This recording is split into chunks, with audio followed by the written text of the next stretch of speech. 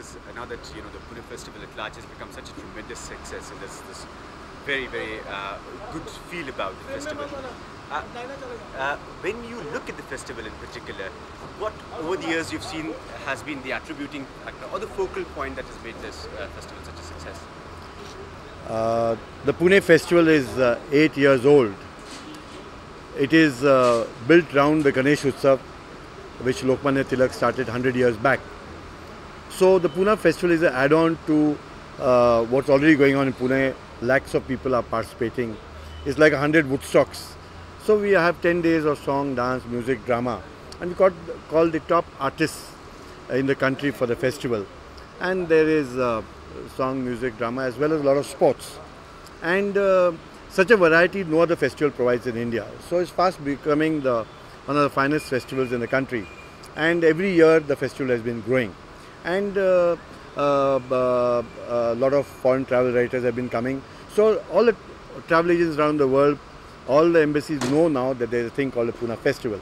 And two years down the line, 1998, uh, we'll have the 10 years of Pune Festival, which we want to make very big. Call a lot of uh, major travel agents and travel writers from all over the world. And uh, from then on, no looking back.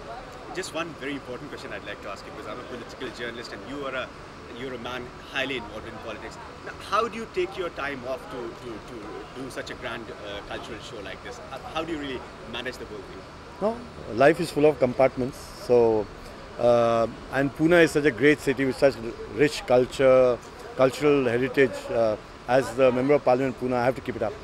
One very important aspect which I personally observed, again I say because being a political journalist, I see people from different parties, irrespective of maybe whatever the inner uh, contradictions or ideological uh, barriers would be, contribute to the well-being of the festival. How do you feel about this? How, do you react? No, it's good. You know, it's good. Uh, uh, Pune has got very uh, mature political uh, leadership from all parties, and that's how for development of Pune we never bring in politics in Pune. So that's very nice.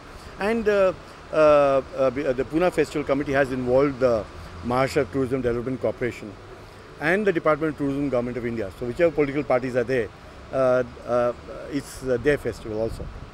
Now, one very important uh, factor, just one thing, how do you really distinct your festival with so many other festivals going all around the world? What is the distinctive feature really about the Pune The festival? Ganesh Utsav. You see, it is uh, uh, built around the Ganesh Utsav, which is 100 years old. Lokmanya Tilak used it as a instrument to fight the British. And so uh, he, uh, we wanted to uh, have all the cultural com- uh, component. It's a socio uh, cultural event in Pune. And lakhs of people take part. It's, it's something which you can't see anywhere in the world. Uh, one last question. This festival in particular, if you really sum it up, what do you, what is the thing that you are looking forward to, which would be the very exciting event or maybe the most No, but uh, no, I look at uh, this festival as uh, uh, putting Pune on the tourist map of the country, and in the liberalized uh, context of India, uh, Pune as the major industrial destination. I want to project both these uh, through the Pune festival. Uh, one more question I'd like to ask because you just said this is a very important point. Now, this is agreeable that the festival has come on the map somehow, somewhere or the other. People have been writing about it. You very rightly pointed out there have been travel writers who have been coming and writing about the festival.